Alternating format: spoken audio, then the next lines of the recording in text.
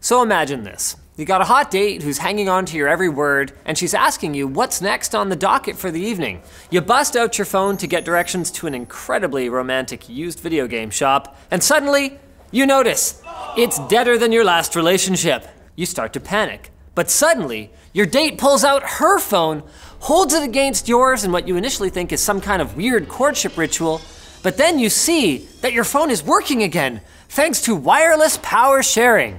So you immediately have two thoughts. One, she's a keeper. And two, how in the heck does wireless power sharing work? Well, we explained the basic principle behind wireless charging in general in our previous video on distance charging, which you can check out up here. But the idea is that when you run a current through a coil of wire and bring it close to another coil of wire, a physical phenomenon called electromagnetic induction induces a current in the second coil. This is how regular wireless chargers work, including the relatively common Qi chargers and even electric toothbrushes.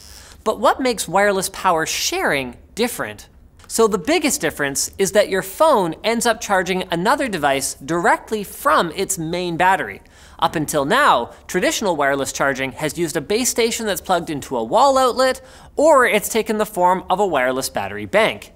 The advantage to wireless power sharing is that you don't need any extra equipment, like an external charger or a power bank, and the phone itself doesn't even have to be any larger. It simply uses a small induction coil built into the phone's body. Currently, the most well-known phone that features this technology is the Samsung Galaxy S10, which can not only power up the company's Galaxy Watch and Galaxy Buds, but also any other phone that supports Qi charging. Now, reportedly, the recently launched iPhone 11 lineup also contains the hardware to support wireless power sharing, but Apple has disabled the feature for now for reasons that aren't totally clear. Perhaps the performance wasn't up to scratch. Indeed, wireless power sharing does come at a rather steep energy cost. In a best case scenario, current technology will provide around 500 milliamps of current, which isn't all that much. So if you're trying to charge a smartphone with a 3500 milliamp hour battery, that means it would take roughly three and a half hours just to get the charge up to 50%.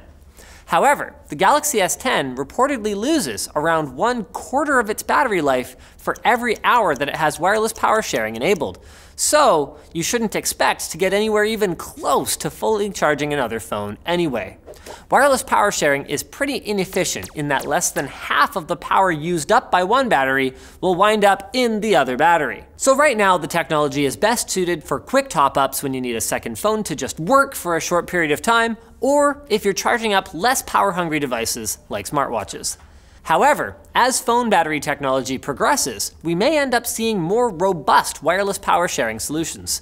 For now, it's a good way to keep you going in a pinch, so you can think of it as like a, an energy drink for your phone that hopefully won't give it the jitters half an hour later. Speaking of half an hour later, don't wait half an hour to check out our sponsor, Brilliant. Brilliant provides you with the frameworks for thinking about and solving problems so you can master concepts by challenging yourself rather than watching someone else do it.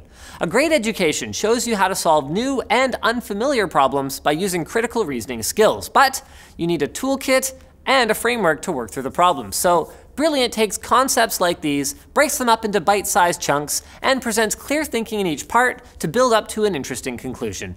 And with Brilliant, you're in the company of over 5.5 million other members who share your curiosity and love for math and science who can support your learning. You build up an emotional connection through interaction with others, which makes it more than just a site for content consumption. So check it out and get inspired. Go to brilliant.org forward slash techquickie to get 20% off at the link below. So thanks for watching guys, like, dislike, check out our other videos, leave a comment if you have a suggestion for a future fast as possible, and don't forget to subscribe.